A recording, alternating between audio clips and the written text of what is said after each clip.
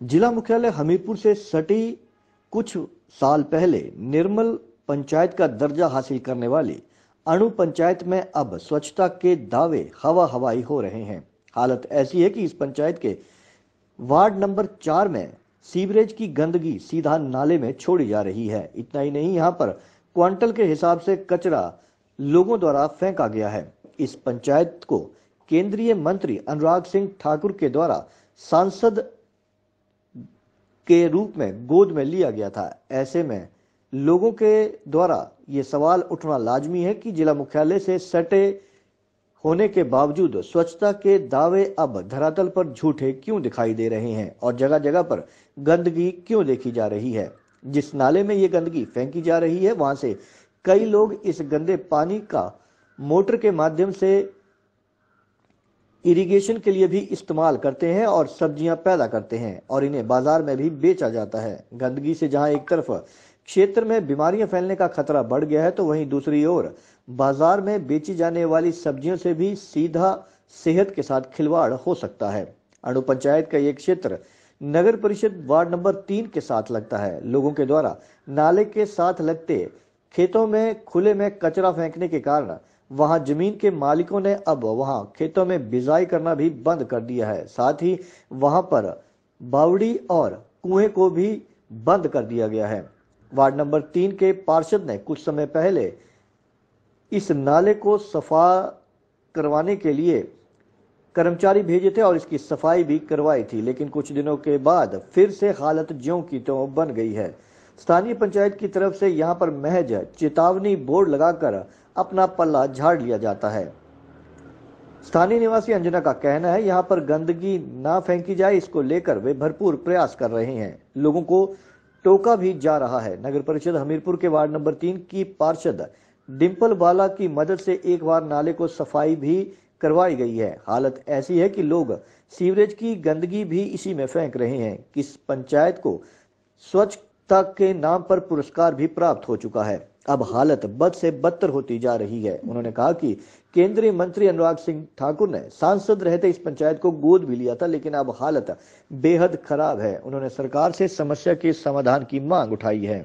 हमने इसके लिए बहुत मेहनत करी। सुबह पाँच बजे उठ के भी यहाँ खड़े हो जाते हैं कि कोई ना मैंने फ़ोटो भी खींची हुई है बहुत सारे लोगों की, पर मैं दे नहीं सकती क्योंकि अपने ही बहुत सारे बच्चे ऐसे हैं यहाँ के बुज़ुर्ग भी हैं और जवान भी हैं, जो रिटायर हो चुके अफसर भी हैं, जो सुबह कूड़ा फेंकने आते हैं।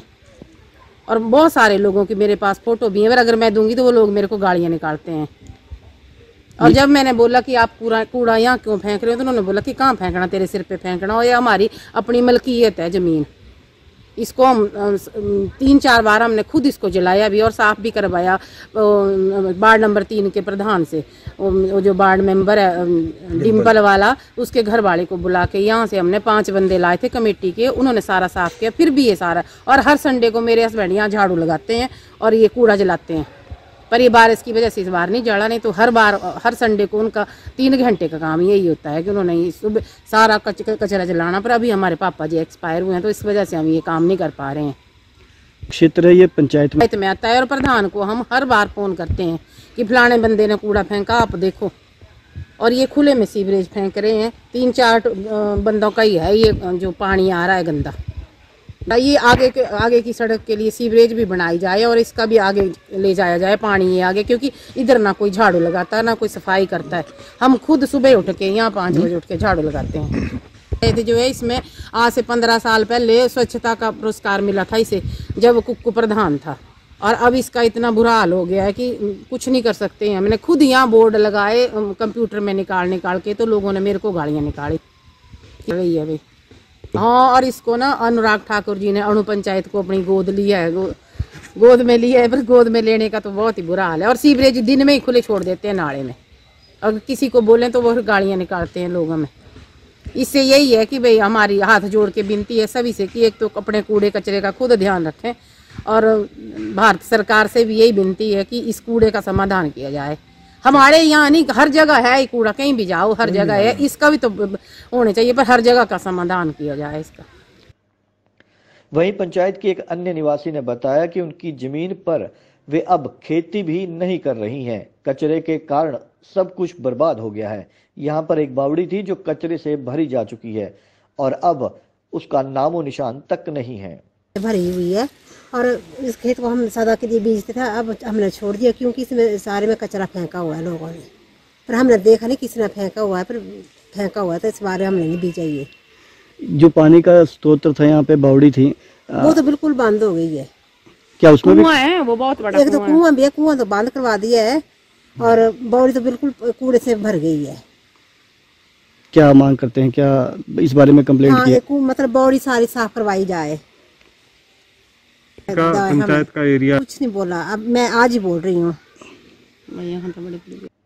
वहीं नगर परिषद तीन के निवासी राजीपुरी का कहना है कि यह समस्या बहुत पुरानी है। नगर परिषद के एरिया में तो कूड़ा एकत्रित किया जा रहा है। पंचायत के लोगों की तरफ़ से यहाँ गंदगी फेंकी जा रही है। सीवरेज की गंदगी सीधे नाले में छोड़ी जा रही है। पंचायत का एरिया होने के बावजूद यहाँ पर नगर परिषद के वार्ड नंबर तीन के पार्षद ने यहाँ पर पिछले दिनों सफ़ाई भी करवाई थी। उन्होंने कहा कि इस समस्या के स्थायी समाधान की बेहद ज़रूरत है। लोगों से भी वे सहयोग की अपेक्षा करते हैं। पंचायत में सरकार की तरफ़ से इन कार्यों के लिए बजट भी आवंटित किया जाता है। बावजूद इसके यहाँ पर गंदगी फैलाई जा रही है जो समझ से परे है। हमारे सामने ही है और ये अभी से नहीं है, बहुत समय से है। मतलब यहाँ पर मुझे ये समझ नहीं आ रहा कि ये समस्या क्यों पैदा हो रही है। अगर हमारे वार्ड नंबर तीन में जैसे मैं तो वार्ड नंबर तीन का हूँ वहाँ पर गाड़ी यहाँ चली हुई है कचरे के लिए है वहाँ हर कोई अपना कचरा वहाँ डाल के आगे निकाल जाता है। लेकिन अगर पंचायत में अगर गाड़ी का प्रावधान था तो हटा क्यों? क्या कारण था? और अगर नहीं है तो क्यों नहीं हो रहा है काम? और इसमें एक और बहुत बड़ी चीज़ मैंने देखी कि यहाँ पर खुले में सीवरेज छोड़ दिया जा रहा है। मतलब सीवरेज कनेक्शन क्या मैंडेटरी नहीं होना चाहिए? हम यहाँ पर नाले के साथ में रहते हैं, ये मेरा मकान है। हमने सीवरेज कनेक्शन लिया हुआ है, हम उसके चार्जेस भरते हैं, लेकिन उसके बावजूद भी अगर हमें उस सीवरेज के बीच में रहना पड़े तो मुझे लगता है तो बड़े दुख की बात है ये। और ये एक बार की बात नहीं है, पिछले बार भी यहाँ पर बहुत सारा ढेर पड़ा हुआ था तो मैंने ही वार्ड नंबर तीन के पार्षद से रिक्वेस्ट की कि मैंने कहा, प्लीज़ यार, आप अपने लेवल पे इसको उठवा दीजिए। क्योंकि है तो ये पंचायत के एरिया में। लेकिन मैंने उनसे रिक्वेस्ट किया उन्होंने मेरी इज़्ज़त रख के ये चीज़ें मैंने साथ में सहयोग करवा के सब कुछ करवाया तो मैं तो दोषी कौन है मुझे समझ नहीं आ रहा है। ये क्या इतनी बड़ी प्रॉब्लम तो नहीं है। आराम से सॉल्व हो सकती थी। यहाँ पर जनता को भी सहयोग करना पड़ेगा, जनता को प्रयास करना पड़ेगा। जो उन्हें दिक्कत आ रही है, वो बताएँ वो। वो प्रधान से बात करें, वो पार्षद से बात करें, लेकिन उन्हें भी सहयोग करना पड़ेगा। अगर किसी ने किराएदार रखे हैं तो ये तो मकान मालिक का फ़र्ज़ बनता है कि उनके किराएदार कचरा कहाँ फेंके। या अगर पंचायत में तो मैंने सुना पिटवॉल के लिए पता नहीं क्या क्या चीज़ें बनती हैं जहाँ कचरा डालने के लिए फंड्स रिलीज़ होते हैं तो वहाँ क्यों नहीं डाला जा रहा है? मतलब ये कचरा यहीं आके क्यों डाला जा रहा है? हम शहर में रहते थे हम यहाँ पर आके हमने सुना कि भैया पानी को जल स्रोत को हम ख्वाजा बोलते हैं। ख्वाजा को ऐसे गंदा करेंगे हम? ये तो बहुत ही दुखद बात है। और ये चीज़ आगे जाके और बढ़ती जाने वाली है। मैं सबसे रिक्वेस्ट करता हूँ कि प्लीज़ हमीरपुर के जितने भी नाले हैं आप इसके बारे में बहुत ही अच्छी तरह से संज्ञान लीजिए और इसका समाधान निकालिए। टेम्परेरी नहीं कि एक बार कचरा उठवा दिया फिर उसके बाद वापस ढेर लग गया।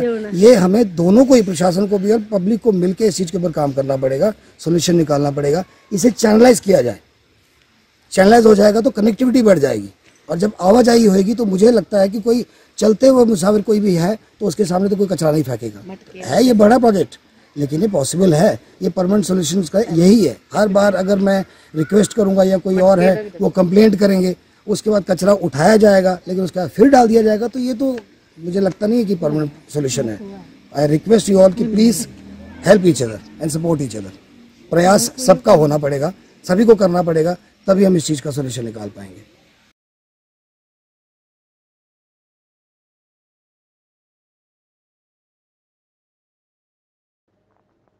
वहीं स्थानीय पंचायत की प्रधान वंदना पठानिया ने दूरभाष पर बताया कि मौके पर चेतावनी बोर्ड लगाए गए हैं और जुर्माने का प्रावधान किया गया है। उन्होंने कहा कि लोगों के सहयोग से ही ये सब कार्य संभव हो सकता है। पंचायत की तरफ़ से यथा संभव प्रयास किए जा रहे हैं। वैसे इस सारे मुद्दे पर हम यही कहना चाहेंगे क्योंकि ये पंचायत नगर परिषद के साथ सटी हुई है, इसलिए यहाँ पर अधिकतर मकानों में किराए पर काफ़ी ज़्यादा लोग रहते हैं। साथ ही यहाँ पर पीजी और हॉस्टल की संख्या ज़्यादा है, जिसके कारण आए दिन यहाँ पर कचरा अधिक होता है, जो कहाँ फेंका जाए इसको लेकर असमंजस रहता है और लोग सिर्फ़ स्थान देखते हैं कहाँ इस कचरे को फेंका जा सके। और ये समस्या अब बढ़ती जा रही है, जिसका अब लोग भी विरोध कर रहे हैं।